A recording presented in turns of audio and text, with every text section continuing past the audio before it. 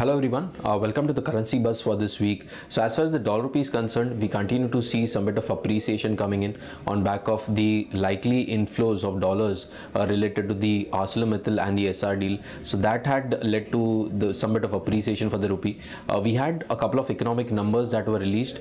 Uh, so starting with the inflation, that has inched higher on back of uh, the uptake in food prices. Uh, industrial production also continues to contract for the second successive month. So that again was a bit of slightly slightly uh, weaker uh, for the rupee. But yes today morning in the asian session uh, we've seen this this you know weakness in the rupee being capped.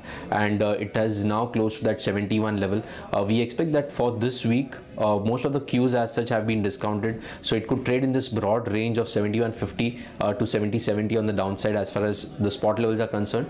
Uh, but if we, if you look at the global factors uh, we had the important federal reserve policy statement that was released. And in line with expectation uh, they've held rates unchanged uh, together with the ecb so ecb also released their policy statement they've also maintained their policy rates unchanged but majorly the focus was on the trade deal that happened between us and china so during the weekend, uh, we, we saw both US and China agreeing to the phase one deal, uh, which was in talks for quite some time now. So the reaction as such was quite muted. Uh, if, if you look at the major currencies, dollar continues to remain under pressure. So for this week, we expect that the momentum could be slightly on the downside as far as the dollar index is concerned. And that again could be positive uh, for euro and pound both. So we expect that as far as the major crosses are concerned, euro and pound could be continued to uh, trading with a positive bias. In case of the Japanese yen, we expect that this broad broad consolidation of 10850 to 10950, uh, which it has been holding on for for the last uh, two to three weeks.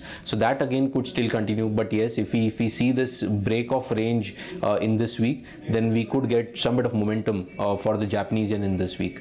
Thank you.